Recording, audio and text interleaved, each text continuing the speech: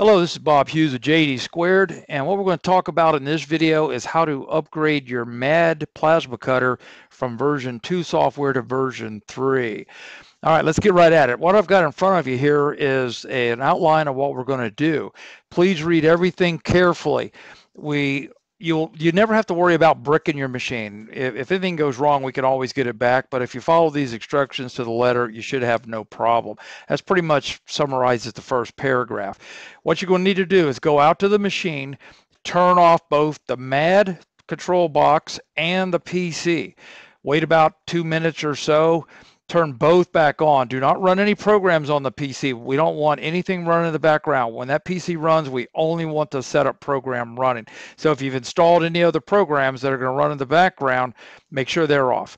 All right, the next thing you do is you're going to check your email and we're going to send you a link to the setup program that's going to um, upgrade your machine.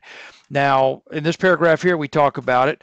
You're going to either um, download the link from your MAD machine onto the PC, in which case you can execute it right from there at the machine.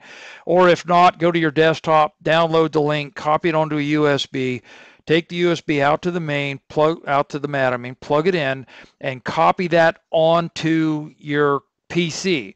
Now, it doesn't matter where, but it needs to be on the PC. Do not run the setup program from the USB. We've had people do this before and they forget and they kind of unplug the USB by accident, think they need it for something else. Next thing you know, everything is stopped. Now, right here, what I've done is I've copied the download, uh, the setup program right here to my downloads directory. You can put it on the desktop, you can put it, it doesn't matter. Okay, now we're going to go back to our list here real quick, and then we'll execute that so you get a better idea what's going on. Now, right here, just what I just said, we're going to double click on that setup program. So we would double click right here and we are going to watch what it does. It, the setup's going to happen in three phases. The first two, lickety split quick. Uh, the first phase is going to install the MAD GUI onto your PC. The second phase is going to look for any settings that you may have changed that weren't factory plasma settings, things like that in version 2, and it's going to attempt them to uh, attempt to convert them to version 3. If it does, it'll tell you how it went. If it doesn't, it's still going to try to convert them, but at, in all cases, it's going to save a backup onto your machine, so we haven't wiped out the original settings. All right, phase 3 is the long one. This could take 30 minutes or more, who knows. Um, the upgrade this is going to upgrade the MAD controller at the plasma unit itself. Just let it run. When it completes, it'll restart the MAD interface and you'll pretty much know that it's done. We still kind of recommend at that case shutting down the PC, shutting down the main controller, and then turning back on the machine.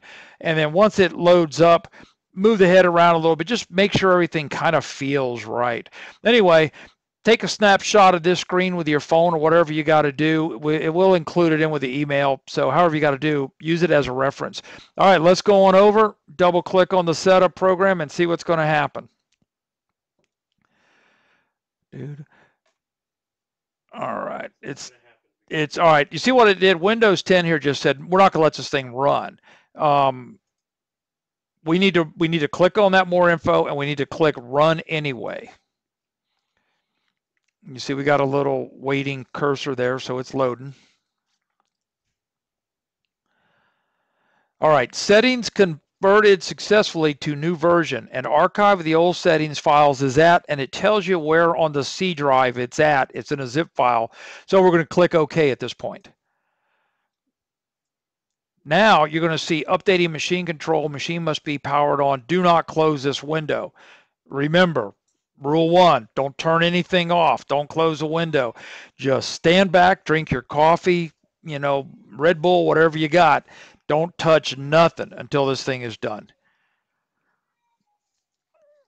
Now, instead of wasting your time in this video, you can see what it's doing right here. It's giving you um, messages, it's feeding back messages to you so that you could kind of get an idea that it's not hung. It's still running. You'll see what it's doing. Anyway, what we're going to do, we're going to go ahead and stop the video now, and then we're going to come back here when she's done so that we could, you know, finish up here. Talk to you in a little while.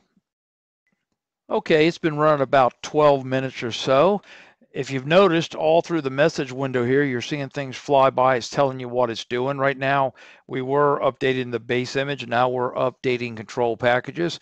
So I'm going to go away again for a little while, just, you know, showing you what it's doing right here. So what you're looking for is when you see removing old control folder and you get that it's processing triggers and nothing has happened for a few minutes, it's actually done. So we're going to go ahead and close the window right here.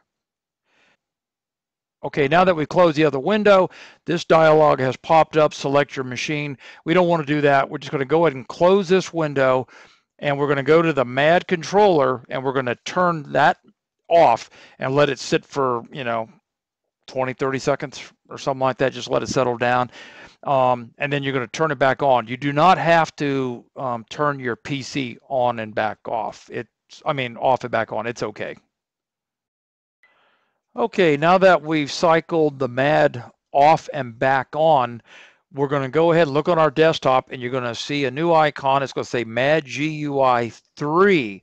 That's the one we're going to want from now on to run the program. If you have an old icon on that says MAD GUI, right click on it and delete it because it's no longer going to work.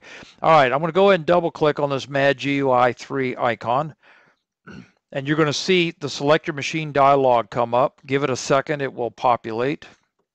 There we go. Now you got your MAD 4x4, 4x8, 5x10. Um, you're going to select whichever one you want to use. I'm using a debug machine. You, you know, that's our internal machine. And I'm going to click OK.